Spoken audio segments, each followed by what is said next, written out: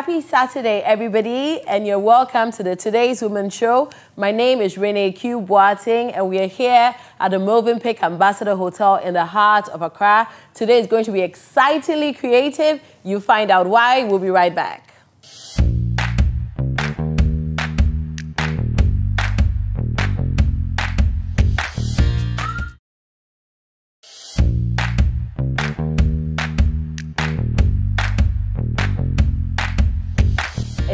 For the monologue. This is when we hit the streets of Accra and we ask different women their opinions on various topics. Let's hear what it is today.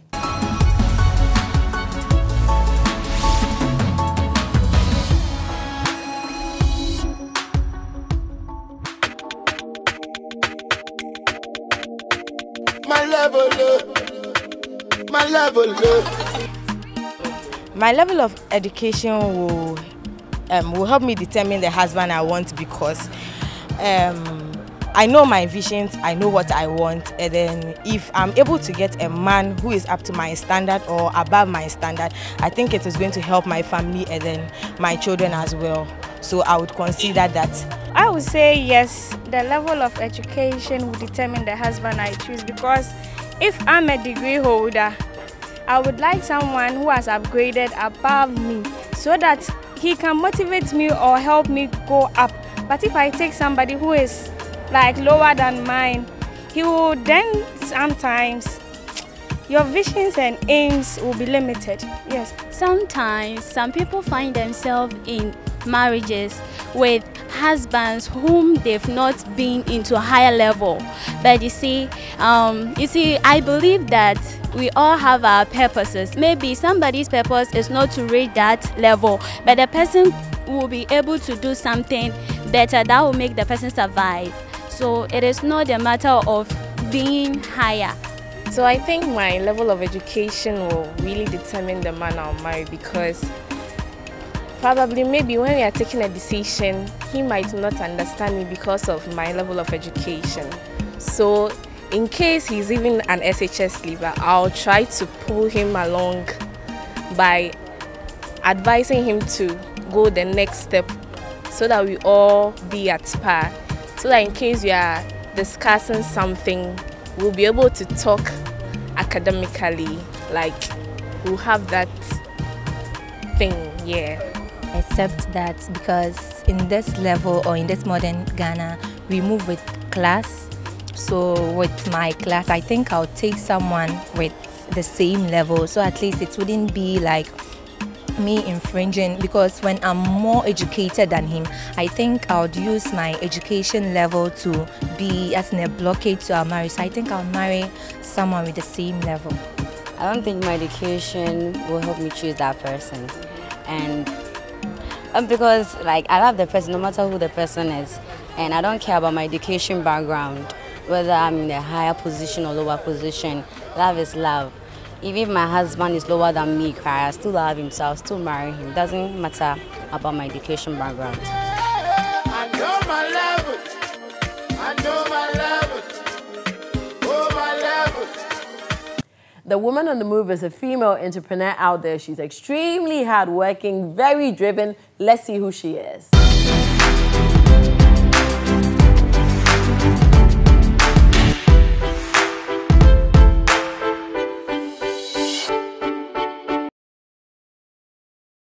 Data from the Institute of Statistical, Social and Economic Research ISSER indicates it may take up to 10 years for a large number of graduates to secure employment. 25-year-old Jennifer and 26-year-old Barbara are not new to the challenges. The two who have been struggling to get a white-collar job upon completion of their diploma in travel and tourism, have now created an income source for themselves. They are into the selling and delivery of jollof rice and waakye, a dish of cooked rice and beans. Growing up, I always wanted to be um, a passenger handler. I had this passion for seeing planes and seeing the air hostesses and all that. But um, I realized you didn't get it how you always wanted to be. Um, so sometimes you'd have to cope with the government and fit in where necessary. So I just decided to grab this opportunity. Barbara Kisiwa holds a diploma in travel and tourism and has been running the business for close to a year at Kwabenya in Accra. To further increase her chances of securing a job, Jennifer pursued a higher national diploma at the Accra Polytechnic, and for her, business has been quite good so far. Everybody just likes what he or she does. So I'm just happy with what I do. By 7, we bring everything down. So let's say by 7.38, we start selling. And it depends on the market. When the market is good, by 10, 9.30, everything gets finished. So we have to pack and go up. Barbara tells me there has not been any regrets of serving their numerous customers each day. We are able to deliver, let's say, 30 to 50 packs a day, averagely. Um, selling, let's say, we are able to sell 500, 600 cedis a day. Currently, their friend, who is also an unemployed nurse, and their auntie have been assisting them to run the Waakye business. Their auntie encouraged parents and guardians of unemployed graduates to support their entrepreneurial drive. Eh, so I'm a support them. Now I'm also supporting now. Yeah, Unemployed graduates should be encouraged to start a business. Their income could even be more than those engaged in white-collar jobs.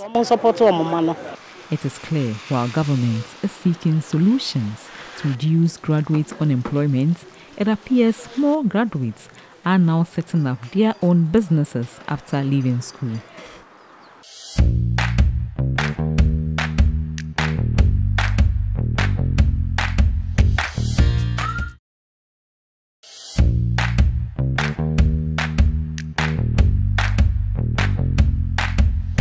Our winning woman for today is Mrs. Theresa Ayoade. She's the executive director of Multiple Concepts and also the co-founder and CEO of Charterhouse Productions. Now that's Ghana's number one events company. I'm so proud to have you on here today. Thank you so much for joining us. You're very welcome.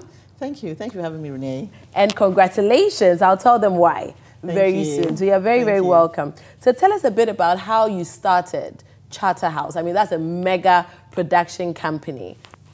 How did you start it? What's the inspiration?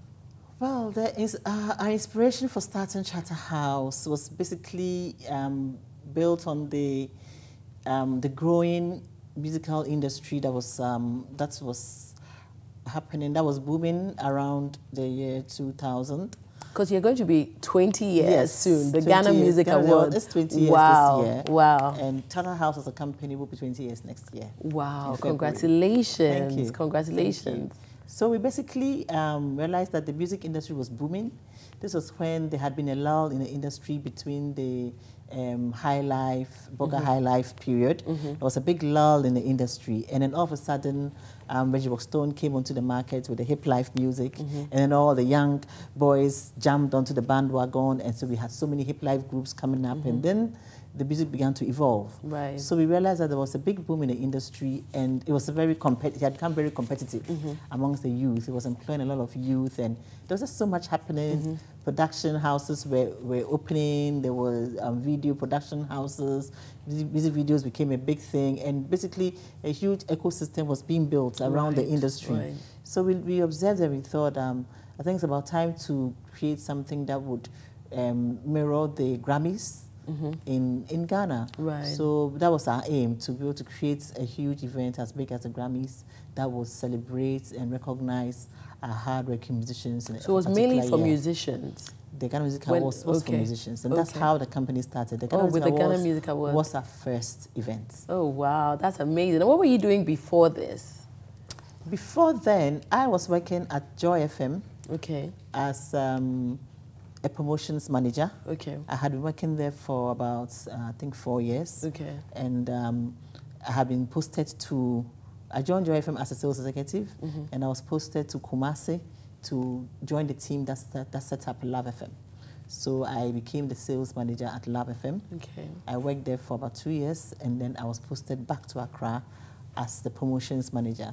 So Wow. at Joy FM, I was working on promotions, you know, things, organizing promotions for radio. Right. So was I was already in that space. But growing Yeah. up, were you always like creative? Like, did you did you always enjoy, you know, the love of music and television and entertainment and, and all of that? Um, I've always been like a, I've always been a fun-loving person. I love entertainment. I love having fun. I, I actually, partying. you know, before I actually met you, I actually thought you were very quiet. I I'm always actually- saw you as a very quiet person. so the first time I met you as the CEO of Charterhouse, Uh-huh. I was quite surprised because I was expecting a go, go, go, go, go, you know. But then I just Uh-huh. saw you very, very laid back, which is simple elegance, which I Mm-hmm. Really like. okay. But I just thought that, wow. Well, I'm actually um, I do let my head down when I, I party hard. Oh, I we've play- partied together before, so I, I, I know that. I'm not telling them yet. I, I work hard and I play hard. So maybe when you see me, I'm in work mode. you know? Mm, no, the- the first time, the- the very first there's time I work mode you, and yeah. there's play mode. Right. So I'm very serious when it's about work and all of that. And then when it's time to let my head down, I let it down. But I love fun. I mean, I'm, I'm a very light-hearted, very easygoing person. So I love entertainment. But that was definitely not. I mean, I didn't even know this industry existed when growing up. You know, my father was a what did- banker. how did you write? How my did father you was grow a banker, and I went to Achimota School. I studied Okay. um, economics, and, and I loved economics. So I was like, I want to be an economist working with the World Bank. Oh my goodness, that was And my that dream. was my aspiration. so for me, that was it. So I actually enrolled even um, at University College London to study economics. Oh, wow. So that was my path. Wow. You know, I was going right. there. Unfortunately, you know, in life things didn't go as planned. Mhm. My father got caught up in um, the coup situation in those days where he lost his job, his assets were frozen, and things like that. So everything in the family changed upside down, and I was stuck in the UK hang, halfway through my, my schooling. Oh, wow. And fees weren't getting paid and things like that. So um, I, I spent about two years hanging around the system for a while. Mhm, And then I mhm. decided that, you know what, let me just go back to Ghana. you, right. Let me just go back to Ghana and reorganize myself, take a Mm. deep breath and start afresh. So that's Wow. basically, I just Thank packed, God you didn't give you know, up. I didn't give up. I just packed my bags and I came back. I said to myself, Ghana is my country.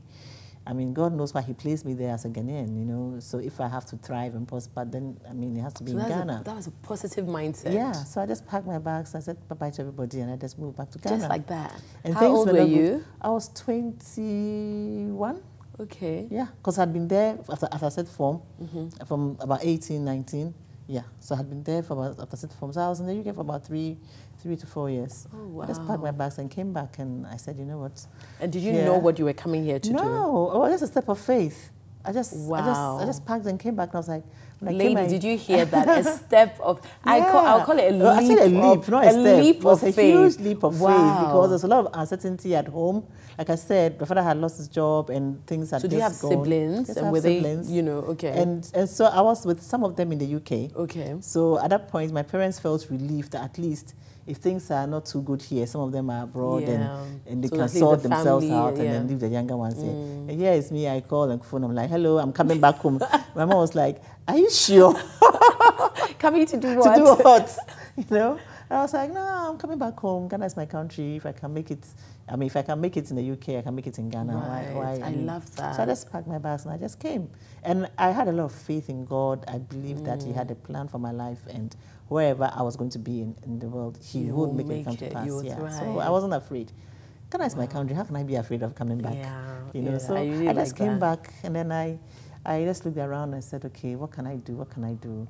I don't want to, you know, sit at home doing nothing because I was used to, you know, working and, you Mm. know, on the go-go. When I was in the UK, I was working in retail, Mhm. you know, so let me find something to do. I called up a friend who had a store in Adabraka. Mhm. She said, if you don't mind, you can come and sit in my store. I said, no problem, I'll be a store girl. Wow, wow, humble so, beginnings. You know, so my friends were in university, you know, in year one, year two, you know, first year, second year. How did it make you feel when you saw them? If you met any of your friends, any of your mates, did it make you, yeah. you know? I mean, it was a very, it was a kind of situation that could make you really depressed and disappointed Mm. because obviously here was I going abroad to study, and all of a sudden I'm there, and the study wasn't happening, and it was truncated, and I'm hanging in the room, and my And it friends were wasn't in planned, school, totally unplanned. and all of that. But I decided when I came out, I was happy. I used to hang out with them.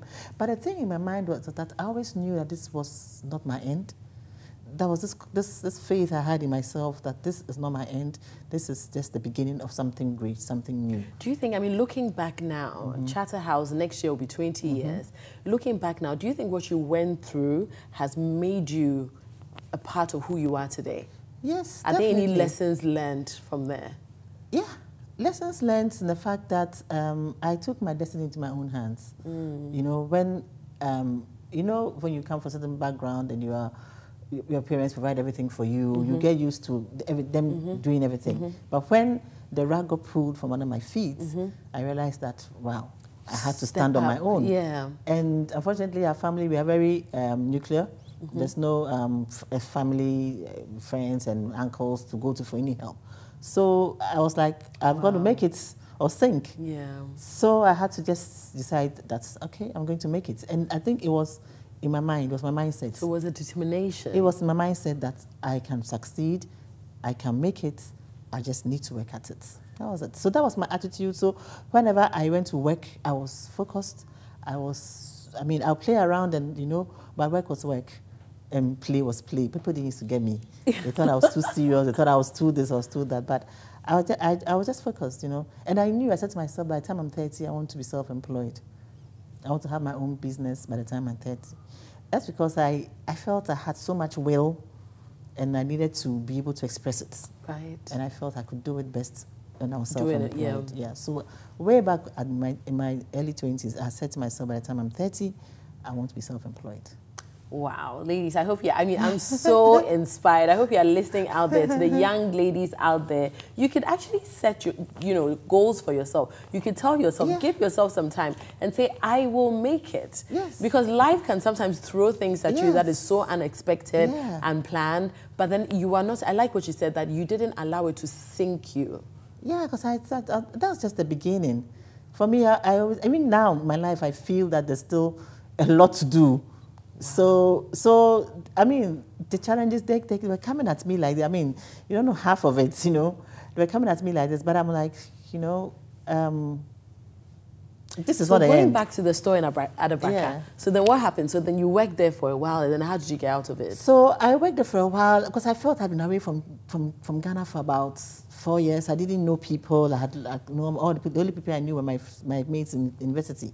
You know, so I needed to make uh, connections Yeah. and get to know people. So I was happy to sit in the shop, meet people, chat up, you know, just get to know what's new in Ghana, what's happening, and then try to bring my little retail experience into the shop to see how I could help them get better Mhm. with what they were doing, you know. So for me, I saw it as a job. I'm here to bring my retail skills to help in this store in Adabraka. Yeah, you know? yeah, to actually help them to help them uplift it, upgrade that. So I really, you know, jumped into it, and I met a lot of people there. But while I was there, I heard on radio that um, a new station had opened called Joy FM, and that was the days, the time when the you know private broadcasts had started. just started. So I listened to Joy FM and I was like, okay, I like chatting, I like chatting, I like talking to people, I like getting to know people. So why don't I go to Joy FM and ask for a job to be um, an interviewer? I wanted to actually do like what you're doing, a talk show, talk to Okay, people, chat to people. But I think also the early days of radio, they didn't understand. We're not doing that at that Mm. time. At that time, it was all about playing music And the news. And the news, yeah. so when I went there, someone asked me to look for Kwesi Twum, so I, I went to look for him, and I told him what I wanted to do. I told him my story. I gave him my CV, and he saw that I was quite good academically. I mean, I, was, I had a very good record academically, and he saw my educational background and my everything. He said, okay, why don't you um, go let them, you know, go read the news or something, you know. Mhm, so I was taken by to me and I'm forced them to, Okay. to, to go read the news. And I came back and said, nah, I don't think she's a good news reader. Why? I don't know why. I thought I was very eloquent, you know. Wow, that's you know, and I think you, you speak quite very clearly You and everything. So I said to them that. Did I they give you any reason why? Did you ask why? No, I just said. Um, And I'm only asking this because sometimes when we are rejected in quotes, Mhm. it's good to know, why. So if we have to improve upon ourselves, I, I, I was there was just no told reason. that I wasn't a good news. I don't know whether it was my voice or whatever, but I was just told that. I didn't. It didn't really bother me because I really didn't want to read the news, and so I kept asking them, "Isn't? Can't I do interviews? Can't I present?" And they said, "No, you have to be either you're a DJ or you're reading the news, so you can play music." I said, "Can you play music?" I said, "No, the only music I like to play is gospel music, you know, or jazz or soul." But I, did, I didn't. They didn't get me. but now they're doing a lot more kind of talk programs. Yes, so yes, yes, yes. That's what I was looking for. Yes. But so I said, well, um, so Kwesi Twum said no, but that's not the end. You don't. I mean, that's not the end. That's not all you can do Mhm. in radio. So many other things you can so do. So why don't you try your hands at sales? Because I've seen you did some retail. I mean, sales when you were in the UK. I said, okay, why not? So he just gave me this whole pile of books. Go and read these books and come back and let me know if you want to do it. So I went home and I devoured the books and I was like, okay, sounds interesting. This was like the early days of radio. Nothing much was happening on the scene. So it was. Um, And Joy FM was one of the one first of the, the private- first, yeah, was the first, yeah. right. So, so I was part of the first batch of Oh, um, wow. sales executives that were employed. So employed, and you know, those days they'll give you like three CDs for the week. Oh my for goodness. transportation. Oh my And goodness. you have to take taxis all around to go prospecting and all So was that. it trying to get Get, sponsors? get, get clients to companies to advertise on Joy FM. Okay, okay. It was very tough because you had to Okay, introduce to them the concept of radio, yeah, it wasn't- it wasn't popular at the time. At, all- at the time, so we had to really break, you know, break ground for that for that to happen, you know. But but it was good. We had to um, we were able to bring in the sales and all So of that. So I see here that you actually went to Kumasi to set up Yes. Love FM. Yes, so, so when there was time for um, Love FM to open up, um, obviously Chrissy had worked with me for a while and he has to know my work ethic. So I was the one who was selected amongst the team. I was the only girl, you know, in the sales Oh, team. you're kidding me. I, was the only, I was the only girl in the sales team. It was all full of boys, you know. So I was and I was really holding my own, you know, with them. I was bringing in the deals, you know. You were not messed I around was, with. no, no, no, no, no, no. So when I was time to open Kumasi, he said, uh, I think Theresa was the best person to go. So he approached me whether I would want to go. And uh, my parents were like, you're going to Kumasi. Had you been there before? I hadn't been there before, you know. I wow. hadn't really been to Kumasi before. So you're going to Kumasi? I said, yeah, sure, why not? I mean, I'm, So are you I'm, one that embraces challenges? I'm very adventurous. I'm very adventurous, Yeah. you know. So he said, go to Kumasi. I said, why not, you know? So I packed my bags and then I went to Kumasi. I was like, okay, Kumasi like, here I am. Here I go. So I, went to, I lived in Kumasi for two years. We recruited um, the. So at the time you weren't married or anything? I wasn't You married. didn't have a then. family No, like I was. I was. family? I was dating, but I wasn't married. Okay, Yeah. okay. So I went to Kumasi. I I worked with um, a team in Kumasi to hire a, the sales team, and then we worked. Um, we, we basically did a whole lot of like different things in Kumasi. We because we there were private stations in Kumasi, but the FM style of broadcasting Right, was quite right. of new there. Mhm. So we kind of broke a lot of um, barriers and you know just got got things. And you sort of like set a benchmark. set a benchmark in Kumasi. Right. And um, I basically delivered what I had, had been sent there to do. I recruited the sales team, I established the marketing department, I put in place all the So you were there for two years? I was there for two years. Wow. And then I, it was time for me to get married. So I went to Kwesi Chuma. I said, Kwesi, please. Um, I think I've done my bit in Kumasi. So you're married. You're married to Nigeria. You met in Ghana. I met in Ghana. Okay, yes. okay. I met him when I was working at Joy FM. Oh, that's I nice. was actually a client. Oh, well, hello, hello, hello. oh Yeah, wow. yeah. Okay. So so so. Okay, no, I'm not going to say what I'll do. I'll tell you later. No, no, let's toast to this, okay? let's toast to love, okay? L'amour. Wishing all the ladies out there love in different ways. Different ways. Different places. May you stumble upon it May you wherever. stumble upon it very soon. All the best. Mm. Mm, this is there's banana Yum. in here. This is a smoothie from Yummy, the yummy, yummy. one to one bar here at the Movenpick Ambassador Hotel. Thank you so much. You're very, very good. The mixologist is really, Mhm, really good. really good, yeah. Thank you very much. So we're talking about love. Hmm. Yes, L O V E. Mhm.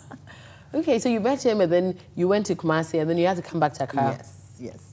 And how I met him was interesting. Um, a colleague of mine at work said, "Oh, there's this new company doing an auto show, and um, I, I want you to help me to do my proposal because I was very good with proposal writing.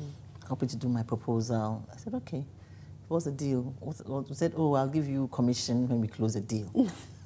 so we did a proposal for him. And he said, "Oh, come along with me. Let's go and do the presentation."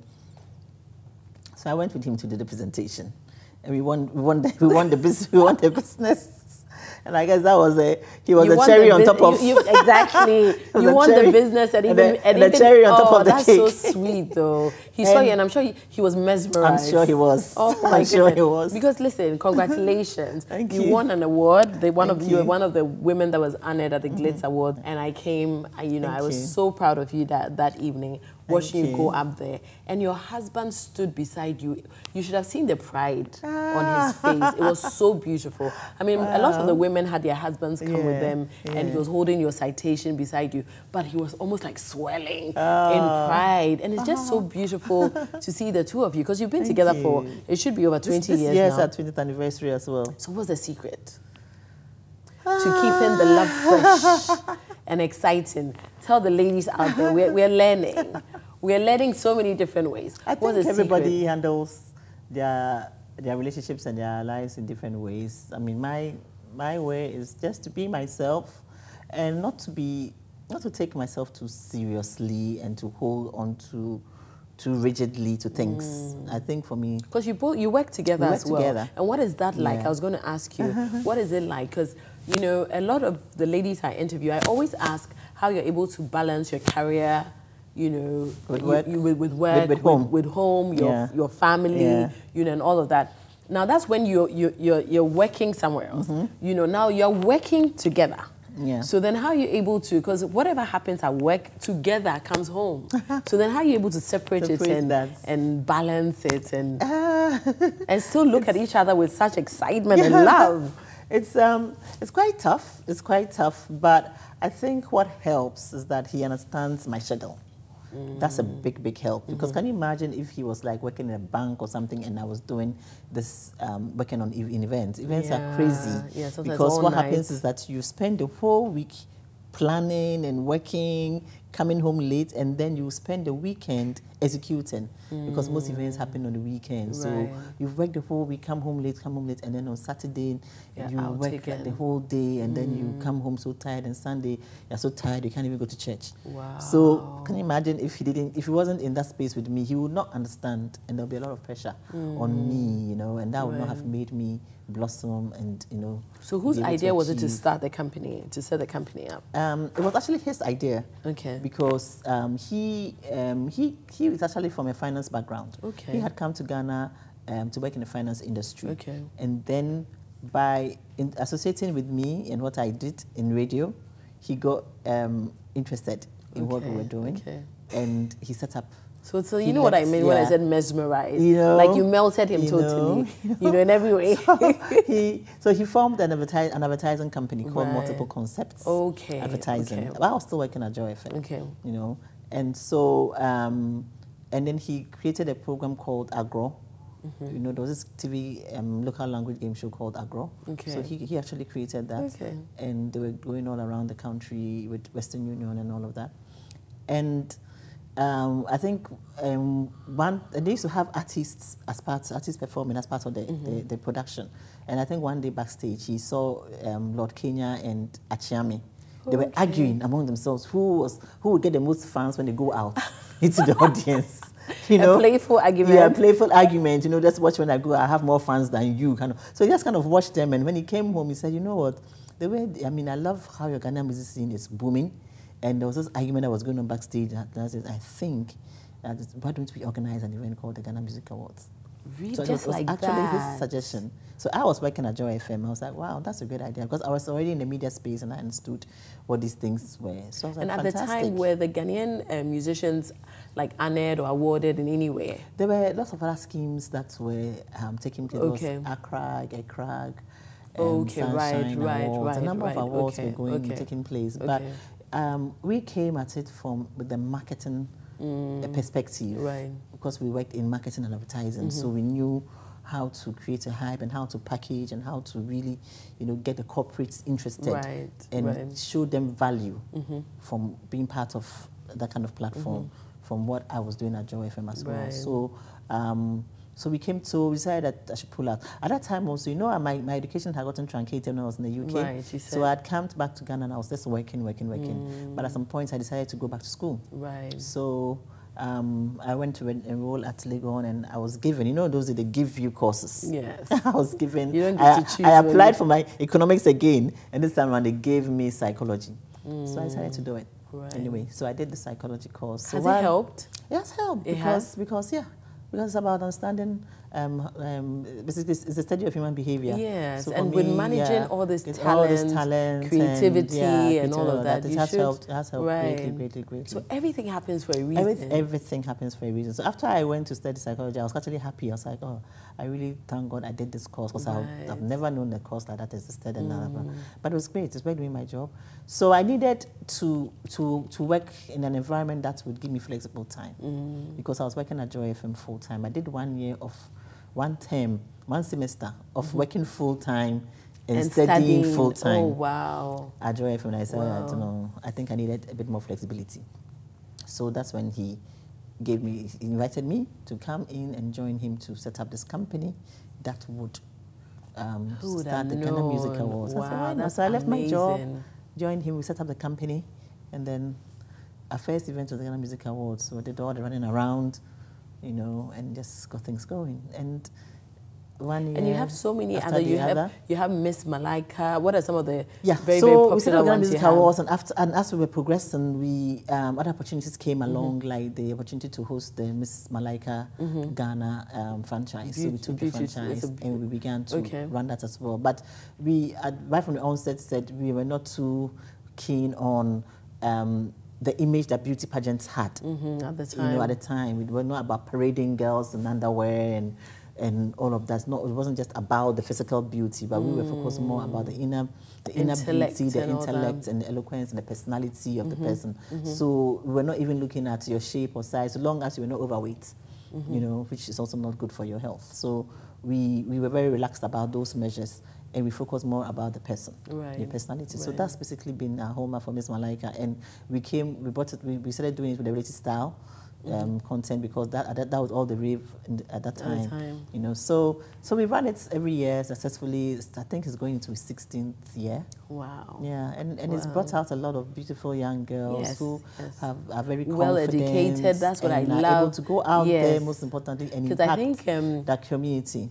this year or last year I was part Yeah. of um, the judging. Not the judging. I actually Okay. spoke at one of. Okay, um, okay, the speaker series. Yes. yeah, we yes. do some clinics. Yes. some And empowerment it was, clinics. It was yes, like I was going to say, it was empowering. Yes, It was yes, awesome. yes. The ladies who even attended, the kind of questions they They were asking, asking, and yeah. everything. So, like you said, it was almost like you know a whole room full of beauty and brains. brains, yes. And I was so, I was really, really encouraged. the whole I was so idea, the whole idea is to to make um, the Miss Malaika a transformational experience. So every lady Mm. who's part of the pageant, So whether you win or not, your your life is transformed Right. and you have a better outlook. And you're you still a winner anyway to you know, to go through and you are empowered to move your life to the next level. Wow. And that's what it's all about. So right from the beginning, we did not even emphasize going abroad to compete in an international pageant.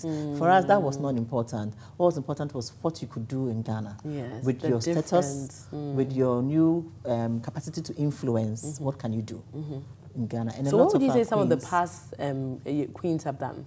Oh, we have a lot of queens who have gone on to run their own charity projects. And and what is very unique about the Miss Malaika is the sense of camaraderie that we we create amongst the, the delegates. So they are not Mm. even they don't even see themselves as competitors, Competitors, and you know they actually work a lot together. Even after the pageant, all the other charity projects that the Queen does, she goes along with most of the, the, the delegates and they all That's fantastic. participate. That's because it's all about good. making an impact in your positive community, impact. a positive impact in Right. your community. So that's the ethos of the of the pageant and um, discovering yourself also along the line. And I think we've been able to achieve that. We've um, put And out a lot of of your um, um, shows that excites me so much is the Thousand and One Laughs. thousand and one laughs. Yes, I think I've been yes. only once, uh, but sometimes I've been one out of twenty six. please, No, I'll come to the next one. I promise. You need to leave, you need, you need to laugh more. but it, I think it's so excited. Mm-hmm. It's so so funny. Like, how do you you know how did that come up as well? Because comedy at the time wasn't really. Did we have comedians We at the time? we had, apart from you know our comedy scene has been quite interesting. We had um, in the past we used to have comedians like um, what's the name of that funny man, the, the fancy guy. Super OD. No, uh, His name is just, Yeah, it's only, um, waterproof. Ah, okay. Waterproof. Okay. You know. I mean, so- those days, we're even recordings on cassettes, and people used to play it in the car, jokes, you know. I mean, it was a bit different from the, the concert party, you know. So he was actually one of the really, I mean, the pioneers of stand-up comedy in Ghana. And then we had Tommy Annan-Forson also did a bit of that, Right. and then Fritz Baffour Yes, did a bit of that. yes. But what happened was that there was a big lull after Tommy Annan-Forson and Fritz Baffour. There was a Mm. big lull. There wasn't much happening in the comedy scene. But the Nigerian comedy scene was booming. And we did a couple of events here where we had Nigerian comedians as MCs, basically on the insistence of clients. So when we began to see what, how they were able to engage the audience in the pidgin and in jokes that we could relate to, we're like, hmm, this looks like this? something that would be really exciting to do, well now. you know, in Ghana. So it was a risk. So let's do the first one. So we spoke to a few partners, sponsors who were willing to take that gamble with us. And we, we, we, organized the first one. And people came, they had a good laugh. It was highly successful. And then they said one, one, one edition a year wasn't enough. So we decided another one in December. So we started doing twice a year. So it's twice a year now, but it's not Twice just a year. Right? You still Now, you have so what happened was we started, we started with the Nigerian comedians, and then as Ghanaians, as we began to watch them and all of that, then the new crop of Ghanaians also started Joined. joining the train. That and then we also did um, a talent show called Stars of the Future. Yes. The first edition, we had comedy as one of the um, categories. Mhm. So through that comedy platform, we're also able to generate a new crop of comedians like Foster Romanus came through that platform. Oh, he did, Yeah, okay. And others. So we, we were able to discover them and then put them onto the platform as well. So that platform now became a platform to also groom Ghanaian comedians. So anybody we, we discovered who um, was funny, we just put them on the platform to start. So we've had, we featured almost all of them. We had Funny Face. Oh, and most of them also actually, I mean, kind of burst into the limelight after they come on the comedy show. Hmm. Because you could be underground for a while, but once it puts you on that platform, you are able to shine. So what happens? Do you source for them or do they come?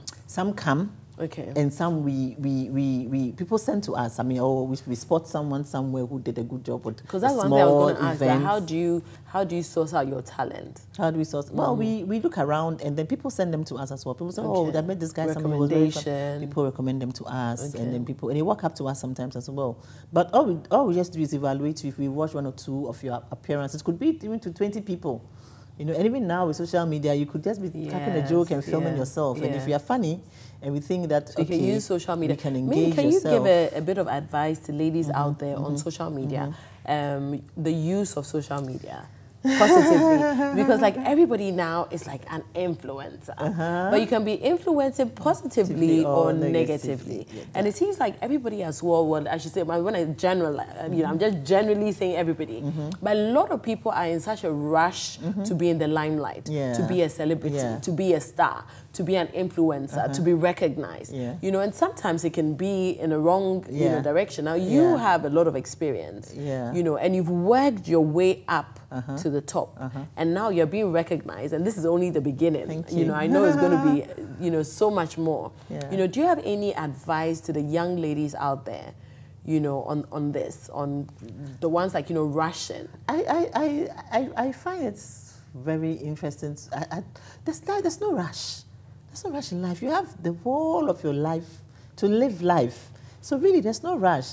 I would advise people to just take it easy, take it, time, have a plan.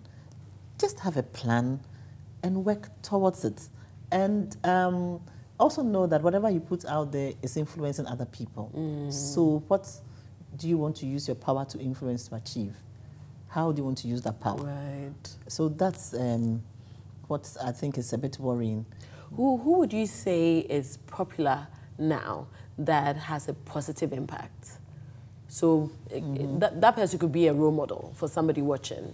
I think um, there are a number of positive influences out there. One of them, I think, is Anita Erskine, and you Mhm. also are Oh, thank uh, one of the positive thank influences. you. Who are using your power to influence, to, Mm. to, to encourage, to motivate, to inspire? Um, I, I have a very close social media space, so I'm now gathering the courage to open up because You I'm a very private person. You know, How can you be private in the entertainment industry? imagine? No, no, no, no. Can no. you And you're asking me one out of 26. I'm asking myself that question, you know, so I need to find my way around and break out of that shyness. You know, but I think um, there are a lot of people out there doing positive things as well. Mm. So let's let those who are doing positive things with their life and who are are doing um, what do you, so my friend of mine says let's let's slay with content Right. you know True. so True. those of us in the space who want to influence positively let's not shy away so i'm a, am a culprit you need to open up So you've repented i've repented on the Today's and Women Show. influence positively let people have access to you so you can also influence positively and mentor the next generation that's very very close to my heart Right. mentoring the next generation you know So do you have mentees? Um, I have. Or is there a yeah, program that I you're have, going I have to a program. I have a Mhm. program. I don't have like one or two mentees, but I Mhm. have um, a number of them through my school outreach Okay. programs that I do as part of the National Women's Summit. We go around the secondary schools and then we have conversations with young ladies in the school. And I feel that that's. I feel that's where we should influence them Right. because that's where they are in the formative stages. They're still making up their minds, a lot of peer pressure. And if they are clear about who they are and who they want to be at that age, if they go to university and they see other things happening around them, they will not be fazed. They'll be focused on why they are there and the reason why they are there and how they need to just um, keep their eye on the ball, come out of university and get your career going, Right. be clear about what you want to achieve, and keep going at it. And so I feel that's where we need to influence them in the secondary schools, and that's Right, where so I do to giving them a solid Solid foundation. foundation. Because I remember when I was in Achimota School, a lot of speakers they used to gather us in assembly hall, speaker A, speaker B, speaker C, and I remember so well. They used to tell us, Achimota School is a school of great leaders. Achimota School, you have to be the head and the tail. You have to be living waters to testy land. You have to be this. You have to be that. They said so much to us that subconsciously. So even though you probably would think, oh, they're Oh, talking too much, it's still, it's still It's sinking stuck, in. It's stuck in my mind, and I think that that is And where that's probably what also pushed you. that is where That's my how come you strength of character was built because I knew that I had to be something. I had to become something. Wow, is all I can You know. say. Wow, I am so inspired. And uh, I think I'm going to write a book after today. Thank you so much, Theresa. It's been an honor to have you on. Congratulations again. I think you're doing an amazing, amazing job. And a very, very, very quick note to parents Mhm. out there on how to nurture children. Yeah. Because a lot of parents are sort of stifling the creativity Oh, of their children. How, how dare you say you want to be a comedian? How dare you say this? Don't get You me started So there. just just a very short one, quickly, maybe open their minds to Yeah. something. I mean, I didn't. I grew up not even knowing about the entertainment industry. I found myself in it, and I've grown to love it because I believe that God has given us all talents, Mhm. and they, we have a lot of people who are gifted in creativity, in the creative arts through singing, through dancing, through fashion, through use of their hands Mhm. in designing, Mhm. and our environment has never really given creatives that support and chance, right from even the government level. We don't get acknowledged properly in the budget. We don't get, get good budget mm. allocations. We don't have the infrastructure to ensure our growth. We do not have the policies to ensure our growth.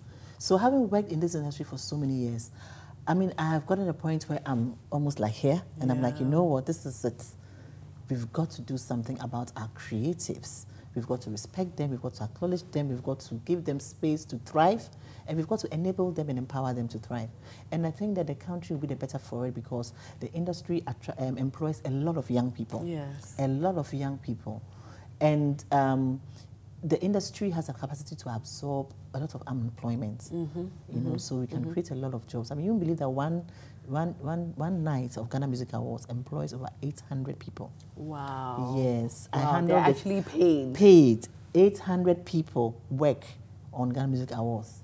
That's on just that one night. Right. And this I can tell through the crew tags that we give out. These are crew Yes, people coming there to yes, work, yes, work, yes, work, yes. work. Every artist we bring, we, we put on a stage is coming with about 10, 15 people. Wow. So you can imagine if we have how many artists, then we have the MCs, then we have the Yeah, photographers, you technical, have- yeah. lights, screens. I mean, you name it. It's huge. Then It's the huge. companies who are activating in the lobby and all of that. I mean, this is about 800 The people. ushers. The ushers and everybody Yeah. working around on that Yeah. night is getting paid. It's a huge It's a industry. huge- this is just one Yes, event. Yes, yes. And this is even without the, if I, if I add the cycle of all the other things we do before the, the night, and everybody who works with us throughout. So We're talking about over a thousand people Yeah. just because of It's one huge. event. So you can imagine if we have more of such things happening. We're going to be discussing something and we're going to make a positive change. This is just the beginning. So, Theresa, thank you so much for taking time out of your busy schedule. I know how busy you are Thank to spend a few moments with us. You've given Thank us you. many words of wisdom.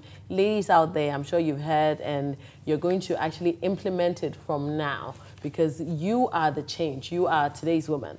Now, to say a thank you, this is just something little. Now, what I'm doing is to really encourage. And you said it, the foundation is so, so, so important. Yes. If you believe in yourself, you know That's who you are, what you stand for and everything, you don't get influenced Mm-hmm. negatively, you know, and self-love is so, so, so important. so this is a little gift from from me and my crew to you Mm-hmm. Thank to say you. thank you so much. and there's one thing I want you to do. I want you to tell us one thing you love about yourself. Wow, this is beautiful. That's a Renee Q love pillow. One thing I love of myself is that um, I'm unfazed. I'm unfazed by things that go on around me. You hardly find me panicking about any situation because I, I have confidence in myself, and my confidence is steeped on my confidence in God. And I believe that He has a purpose, He has a plan for me. And so long as I stay on His side, I will not miss my path. Amazing, amazing. Thank you so, so much. We wish you all the very best. Thank and I know so there's much. many more exciting things you're coming A up with. A whole lot more. We'll be Just there. stay tuned. We'll be there. We'll be right back.